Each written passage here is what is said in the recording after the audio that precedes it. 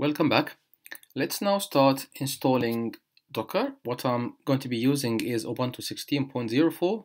This is the most recent distribution uh, at the time of recording these videos. And if you're using another distribution of, uh, of, uh, of Linux, then you can go to the Docker website. You can find documentation on how to install it on different uh, distributions of uh, Linux. Or even if you're using Windows or Mac, then there's also information on how to install it on those operating systems.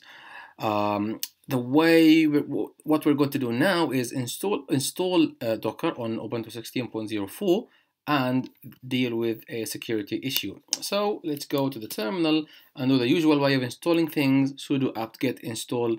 The package is called docker.io. Fortunately, it's available via the repositories. So hit enter, provide your password. It should ask you to confirm that it's going to take that much space, you just say yes, and it shouldn't take too long if you have a speedy internet connection. Um, yeah, so it's installed, it's confirmed, Docker version, and the version we're having here is 1.10.3.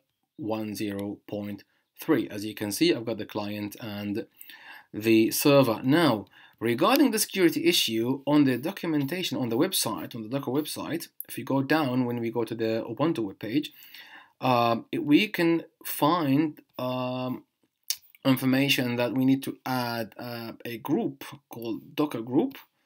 Where is it? Let's find it. Yeah, this is the warning that we need to pay attention to. It says that the Docker group is equivalent to the root user.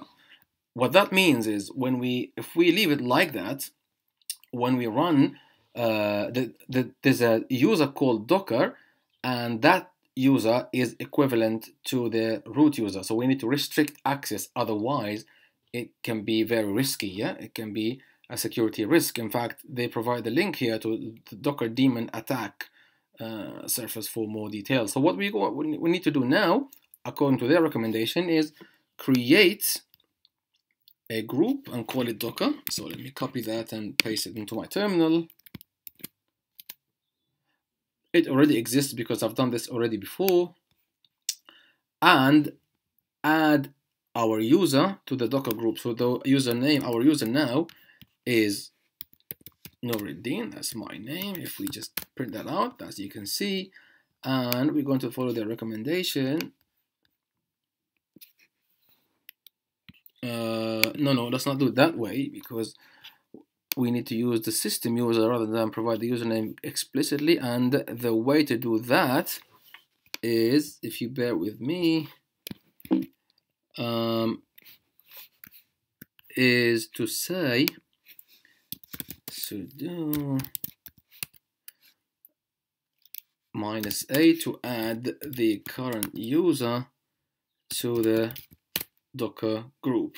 Adding user Noureddin to group Docker. So we've added it successfully. So what we can do now is we can just restart the uh, Docker daemon as a, because it's a service. So we can do service Docker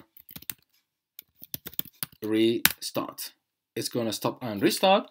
That's very good. So what we've done now is we've installed uh, Docker on Ubuntu 16.04 we've created a group called Docker and we've added ourselves to that Docker. So next time when we run uh, Docker, we'll be running it as user Noureddin, who is now a member of the user of the Docker group, rather than uh, running running it as uh, the Docker user, which is equivalent to root. So we will always want to avoid using root as much as we can because if anybody gets access to our host to the machine that Docker is running on, then that can be really dangerous.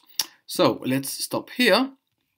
Uh, again, just to confirm that Docker now is running, if we confirm the version, then we can see, uh, as we saw before, the version is 1.10.3. So let's stop here and I'll see you next time.